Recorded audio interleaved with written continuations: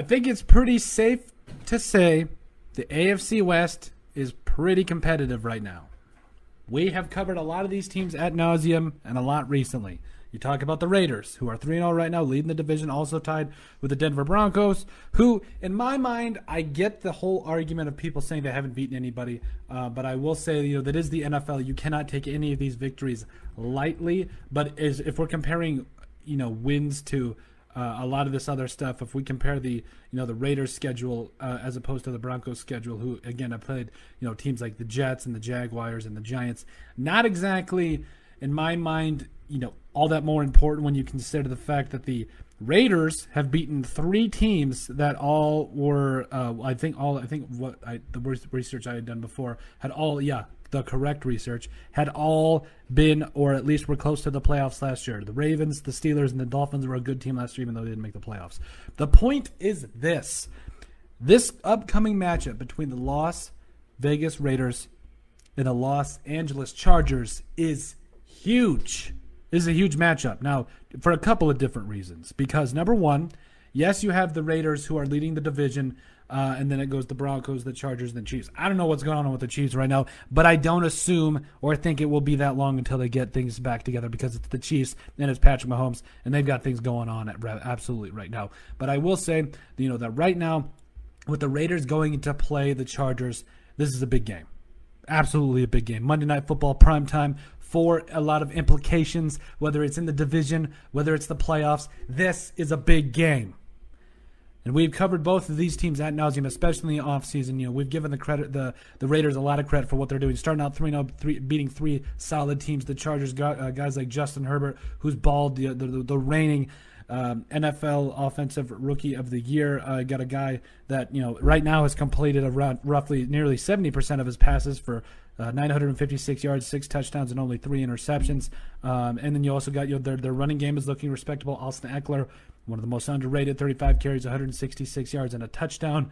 Um, Ekeler also has 15 catches for 113 yards and another touchdown, by the way. Um, you know, the receivers are good. Mike Williams showed up against the Chiefs. 22 catches, 295 yards, and four touchdowns so far in the year.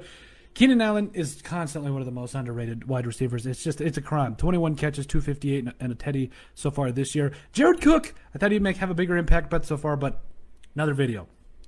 I will say though, uh, on the flip side of that, you look at the Raiders, who I mean, Derek Carr. I mean, I this guy is uh, definitely in the MVP conversation. You talk about a guy that's completing 64% of his passes for over 1,200 yards, averaging over 300 or nearly over 400. Excuse me, over 400 yards a game passing, six touchdowns, two interceptions, without Josh Jacobs for a couple of those games. Mind uh, mind you, let's keep that in mind right now. Um, and also, and imagine what he, what happens when I get him back. That's just going to be huge. But you also talk about, you know, on the flip side of that, Peyton Barber, you know, had over 100 yards last game, has really shown up and shown out, in my opinion, and done a lot. Um, and then obviously you got the one of the best tight ends of football, uh, Darren Waller, who has 20 catches for 224 yards and a touchdown. Hunter Renfrow, who got, I got picked him up on fantasy. Uh, he's got 16 catches, 204 yards, and a touchdown. Why do I say all this? It's merely because of this. There's a couple of things we have to assume here. Number one, there is a good chance that – the Chiefs are at least going to move to two and two. They're going to play the Eagles, and especially after whatever the Cowboys did to the Eagles, ah, I'm not going to get into too much of that game, but I will say that there's a pretty good chance the Chiefs are going to take care of business against the Eagles. So what does that mean for the teams for teams like the Chargers who are currently two and one? If they lose to the Raiders, they're back in it with the Chiefs uh, for the division. This division is looking pretty tough, uh, but we'll see how things kind of shake out.